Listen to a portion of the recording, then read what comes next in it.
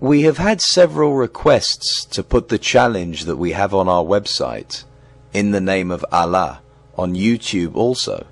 to counter many of the accusations against us.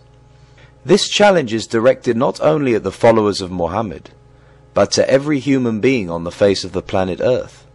For those who have not read or heard this challenge, it goes like this.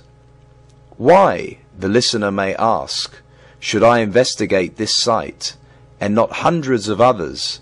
of similar content? Because this site makes an offer unheard of in the entire internet of a reward worth £10,000 sterling to be paid for every verse in the Quran, no matter how many times it is repeated, that anyone on the face of the earth can prove that it represents a new, practical, spiritual, and intellectual concept, precept, thought, or idea, which, in any way, shape, or form, is equal to or superior to anything that the Quran itself has plagiarized, plundered, pirated, and or perverted. From the Bible, the New Testament, Zoroastrian and pagan Arabian religions, their traditions, their fetishes, and their scriptures.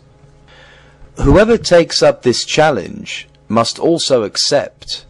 to pay an equal sum of £10,000 sterling for every verse in the Quran, no matter how many times it is repeated, that the author can show beyond a reasonable doubt, and without a shadow of a doubt, that it had to have been plagiarized, plundered, pirated, and or perverted